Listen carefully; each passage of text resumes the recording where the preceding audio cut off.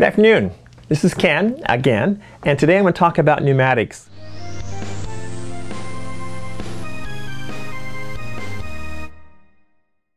Pneumatics are really cool, so we're going to talk a little bit about that. But first off, you need to understand what pneumatics are as opposed to hydraulics.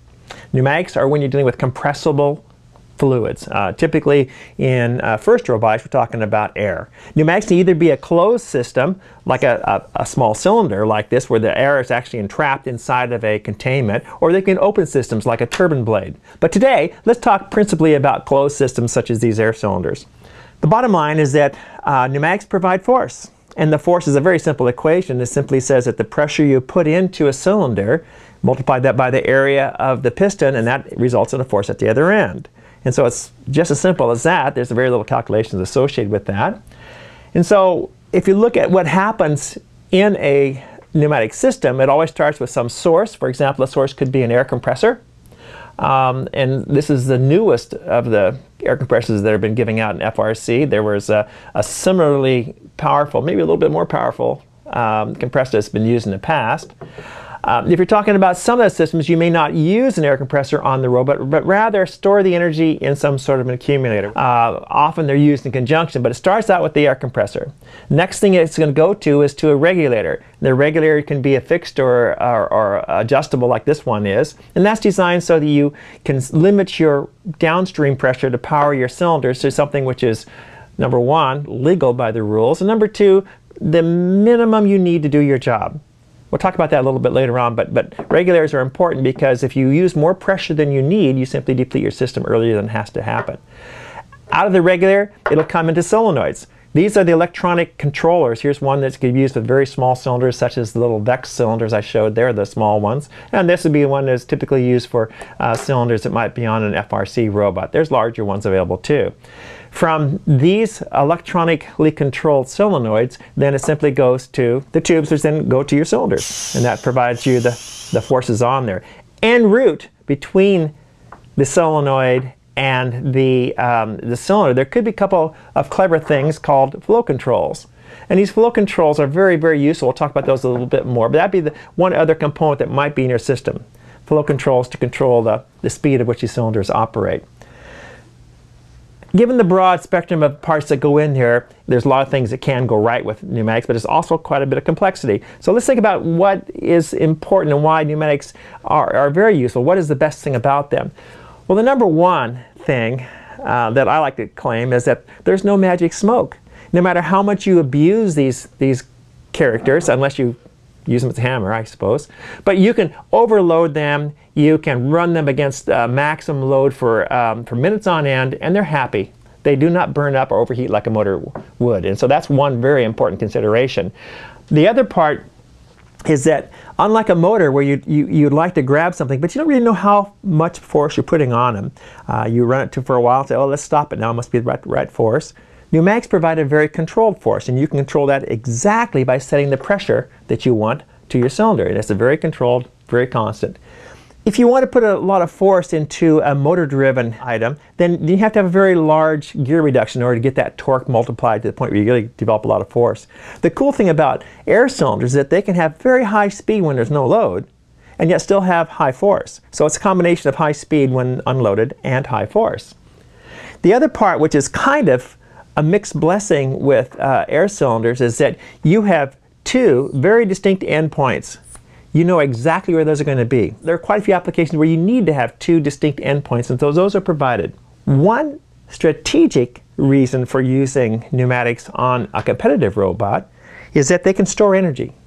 And they can store energy without having any electrical cost. For example, if you want something to happen at the end of a match, and your battery becomes disconnected at the end of the match, well, these will still do that action. So that's one good thing about them.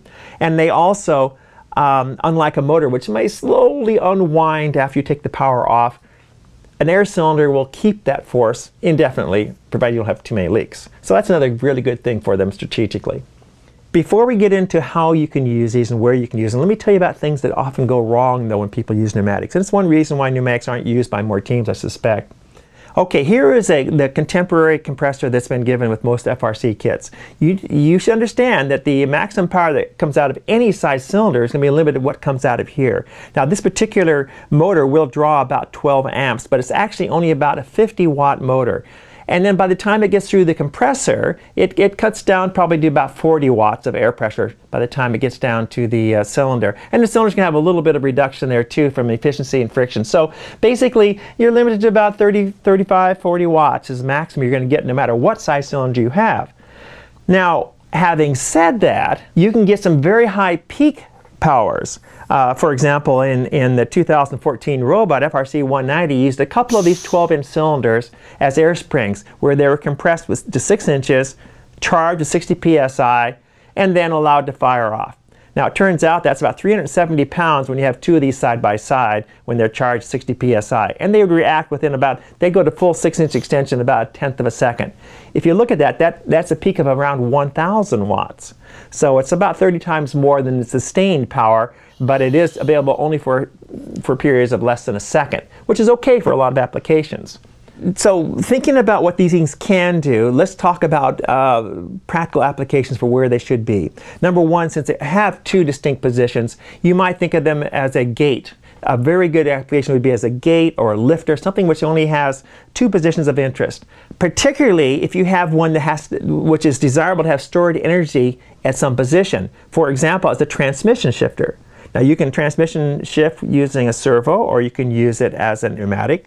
The example of a servo is that of course when you command a servo it tries to get that position but if it doesn't then it just holds that energy which is fine except for the fact that it's a motor inside as we talked previously electric motors understall overheat and same thing would happen with a servo.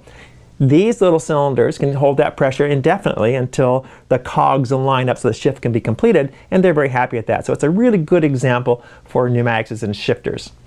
If you have some sort of an, uh, of an arm or shoulder that has to go through some limited arc, and I'm saying about 60 degrees, try not to get over 90 degrees of arc. Limited arc rotary angles work pretty well. Um, here's an example. In 2006, we used a uh, pneumatic to uh, lift balls into spinning wheels for a, um, a basketball Nerf ball thrower. Perfectly good application for it because a little three-quarter inch cylinder there would lift our, our, um, our balls and no problem.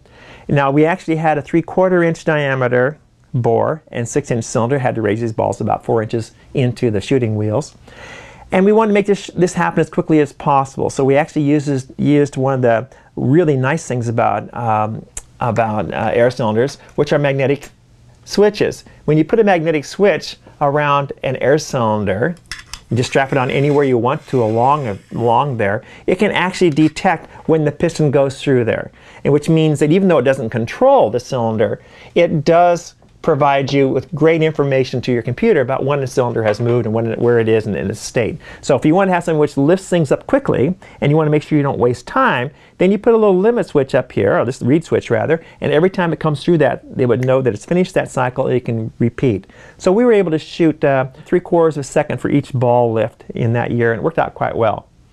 There is something to think about with cylinders. Remember we said the force equals pressure times area. So you'd be tempted to just look at the bore of this thing and multiply it by um, you know pi r squared and come up with the pressure and you come up with the force that's being applied there. Now that is fine except for the fact that is pushing. In a pulling force, which is often used as well, when you pull, you have less area. And if that's not clear, it's because this diameter of the shaft itself occupies some of the annular area, some of that circular area of the bore. And so that is not available for developing force.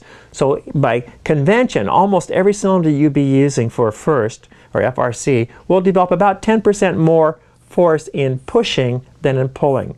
It's easy to calculate, but you need to think about that. Another good example is when you have a gripper, something that wants to grab onto a ball. We use this, in a lot of games you do that. Um, Actually, it turns out pneumatics are really good for doing this. In 2001 and then later on in 2004, um, there, were, there was a very, there's some very large balls, 30 inch diameter balls. And we discovered that we needed about 10 pounds of force to, to maintain that ball adequately.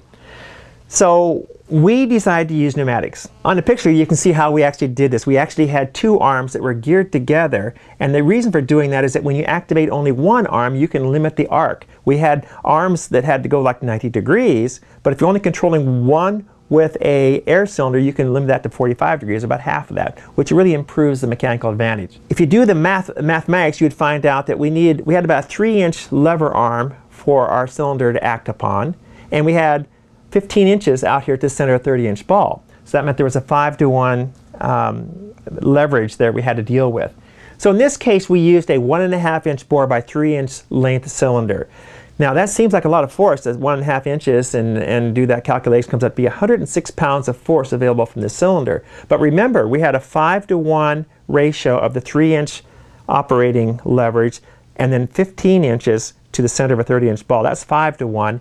And then you had a multiplier there because you had the two arms geared together, which meant the effective ratio was 10 to 1, which meant that 106 pounds did become 10 and a half pounds, 10.6 pounds, which is exactly what we wanted.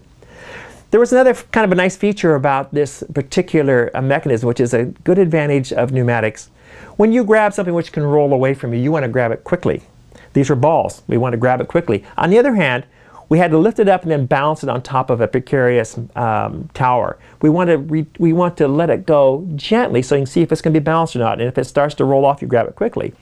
With a motor, you can't really do that very easily. You can't control the speeds one way or the other as easily. With pneumatics, by using flow controls, we could have a very quick grab and a slow, methodic opening.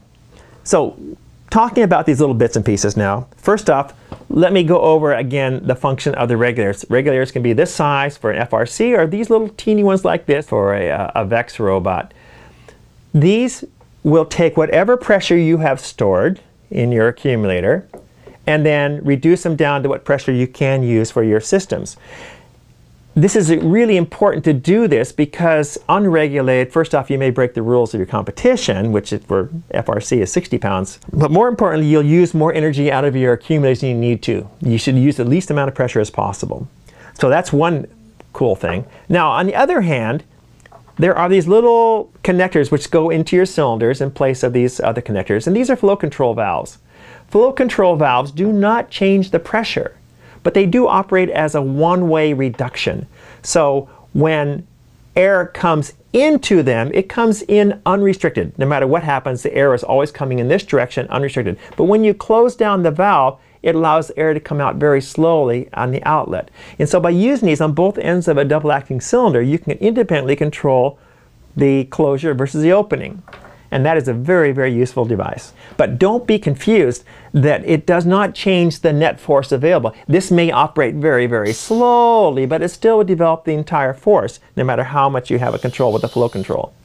So it controls speed, but not force. Now, the solenoids themselves, these are the electronic devices, and of course these will receive a digital signal from your controller and operate the cylinders in one way or the other. They require very, very little power, and yet they can control something which develops hundreds of pounds of force. So some general suggestions about pneumatics. Let's look about the weight of the system.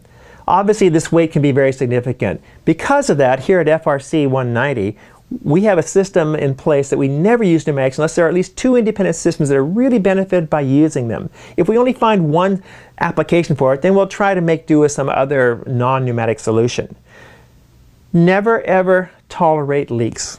You know, um, people think, oh, well, pneumatics are always going to leak. Well, uh, we don't, you don't tolerate having a short of electricity on your chassis of your robot, nor should you tolerate having a leak of your system.